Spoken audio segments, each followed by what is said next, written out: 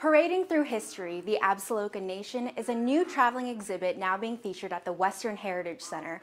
What's significant about this exhibit is that it tells the stories of the Crow tribe from the perspective of the Crow people and shares items like this child dress made with imitation elk teeth. So this is a peyote fan made with owl feathers. The Western Heritage Center manages the largest traveling exhibit program in the state of Montana, and the exhibit now at the museum chronicles the rich culture of the Crow tribe. In the exhibit, you'll see information about the history of the people, about their transition from uh, a plains culture onto the reservation. It's also one of the few exhibits ever researched, organized, and designed from a Crow perspective. It features the thoughts of historic Crow leaders, artifacts, and contemporary information on who the Crow tribe is today. This was made more recently and, and uh, is shown off and is highlighted through parading. This contemporary leather and beaded lance case is one of many artifacts folks can check out. The exhibit includes information for women, for men,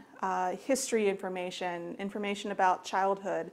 Uh, so it's, it's really a great snapshot of an entire culture. This banner captures a brief history of Chief Plenty Coups, the last traditional chief who lived to be bound by the borders of a reservation. We also have Chief Plenty Coups' life mask that was originally cast by the Smithsonian Institution in the 1880s. Hunley says the Crow people are also incredibly proud of their identities as warriors. And so many of them have continued to serve uh, in the U.S. military. And patrons can listen to the Crow language through documented oral history. We've chosen to play a portion of Winona Plenty Hoops' oral history.